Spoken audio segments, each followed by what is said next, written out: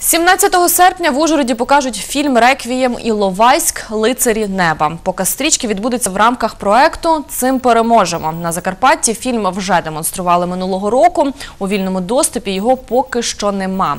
Ексклюзивне право показу надала волонтерам руху підтримки закарпатських військових режисер картини Катерина Стрельченко. Мова у фільмі йде про бійців батальйону Дніпро-1, які загинули під час виходу із Іловайського котла в серпні 2014-го. В стрічці близькі друзі та побратими розкажуть глядачу, ким були загиблі, про що вони мріяли та чому пішли воювати.